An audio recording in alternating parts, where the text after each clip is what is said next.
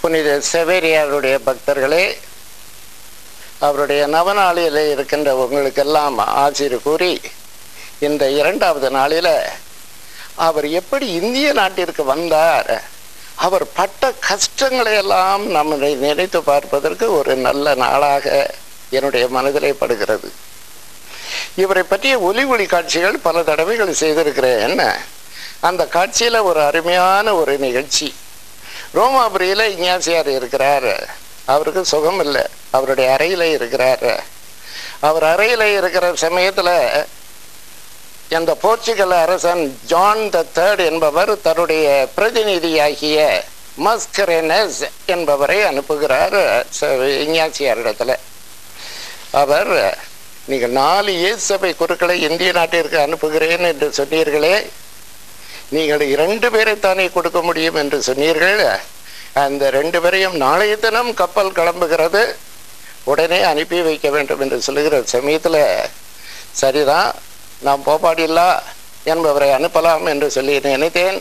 அவருக்கு சுகம் இல்லை இந்த நிலைமையில் அவர் பயணம் செய்ய முடியும் என்று என்னால் நினைத்து கூட பார்க்க முடியவில்லை.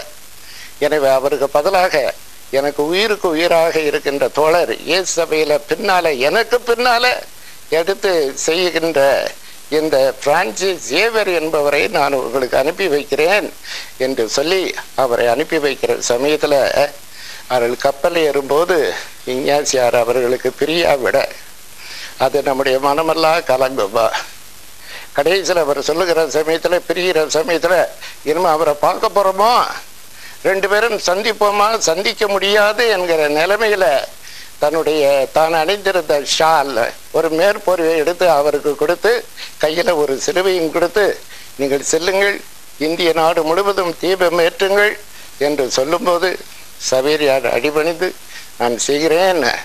மக்களுடைய மரத்தில் எல்லாம் இறைவனுடைய அன்பு தீ பற்றி எரியும்படியாக செய்கிறேன் என்று சொல்லி கப்பல் ஏறி வருகிற சமயத்தில் பயணம் எவ்வளவு நாள் என்று நினைக்கிறீர்களே? நாலு நாள் அஞ்சு நாள் இல்லை. பதிமூன்று மாதங்கள். பதிமூன்று மாதங்கள். பதிமூன்று மாதத்தில் அந்த கப்பலில் பயணம் செய்தவர்கள் எத்தனை பேர் சாகிறார்கள்? நூற்றுக்கும் மேற்பட்டவர்கள் செத்து போகிறார்கள். பெரிய பயணம். இருபதனாயிரம் கிலோமீட்டர். இருபதனாயிரம் கிலோமீட்டர் வருகிற சமயத்தில் அவர்கள் கப்பலில் சரியான சாப்பாடு இல்லை. பச்சை காய்கறிகள் கிடையாது. நல்ல தண்ணீர் கிடையாது. அந்த நோய்வாய்ப்பட்டவர்களுக்கெல்லாம் சவேரியர் அந்த மேல் மாடியில் அந்த கப்பலருடைய மேல் தளத்தில் இருந்து அவர்களுக்கு உதவியாக இருக்கிறார். கப்பல்கள் என்றால் இந்த மோட்டார் பருத்திய கப்பல்கள் அல்ல எல்லா பாய்மர கப்பல்கள் தான். அது கோவா வந்து சேர எவ்வளவு நாளாகிறது? ஒரு வருடத்துக்கு மேலே பதிமூன்று மாதங்கள். சவேரியார் கோவாவில் வந்து காலடி வைத்து உயிரோட வந்து இறங்குகிறார் என்றால் அதுவே ஒரு பெரிய புதுமை. பதிமூன்று மாதம் ஒரு மனுஷன் கப்பல்லையே இருந்திருக்கிறான் என்றால் நினைத்து பாருங்கள். அந்த கோவாவில் வந்து அவர் இறங்கி கோவிலில் போய் அவருக்கு இறைவனுக்கு நன்றி சொல்லிவிட்டு இறுதியாக அவர் என்ன செய்கிறார்? அந்த இடத்துல ஒரு பெல்லு ஒரு பெரிய கல்லூரி. கோவாவில் அவர் ஆரம்பித்தது ஒரு கல்லூரி சென்ட் பால்ஸ் காலேஜ். அது ஆரம்பித்து அங்கிருந்து அங்கிருந்து பணி செய்து விட்டு நம்முடைய தமிழகத்தில் தூத்துக்குடி பகுதி மணப்பாடு பகுதியெல்லாம் வர வேண்டும் என்று ஆசையோடு வருகிறார். புனித செவேரியாரே உங்களுடைய பயணத்தை நாங்கள் நினைத்து பார்க்கிற சமயத்தில் இந்த பதிமூன்று மாத பயணம் தானா? பத்து வருடமாக நீர் தொடர்ந்து பயணம் செய்தீர் இறைவனை அறிவித்தீர் நாங்களும் இறைவனை நோக்கி செல்லுகின்ற இந்த ஒரு பயணம் இந்த பக்தி பயணம். உம்மோடு நாங்களும் பயணமாகணும். உம்முடைய ஆர்வத்தில் எங்களுக்கு ஆர்வம் இருக்கணும்.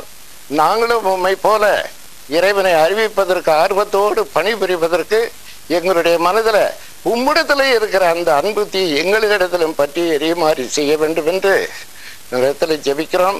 எங்களை அதை ஆசீர்வதித்துள்ளோம் இந்த கடற்கரை வாழுகின்ற இந்த பகுதிகளிலெல்லாம் செவியர் நடந்த பகுதிகளிலெல்லாம் இருக்கின்ற மக்களை ஆசீர்வதித்துள்ள வேண்டும் என உம்மை பார்த்து ஜெபிக்கிறோம். புனித சவேரியாரே எங்களுக்காக வேண்டிக் கொள்ளோம்மா